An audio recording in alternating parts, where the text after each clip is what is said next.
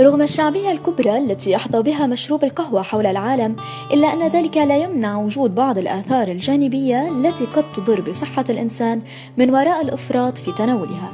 إليك الآثار الجانبية من وراء تناول القهوة.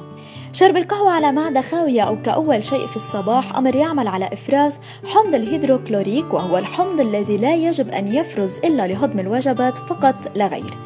شرب القهوة يتسبب في الإصابة بالقرحة والقولون العصبي والحموضة. فكثير من المكونات الموجودة بالقهوة مثل الكافيين وكثير من الأحماض التي توجد بحبوب القهوة من الممكن أن تتسبب في إثارة المعدة وكذلك إثارة جدار الأمعاء الدقيقة.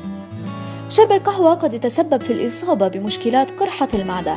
حيث ثبت أنها قد تتسبب في حدوث ارتجاع مريئي وحرقة معدة إذ تبين أن شربها قد يؤدي لفتح العضلة العاصرة المريئية السفلى التي يجب أن تبقى مشدودة لمنع عودة محتوى المعدة إلى المريء وتحدث حرقة ببطانته الحساسة من خلال حمض الهيدروكلوريك.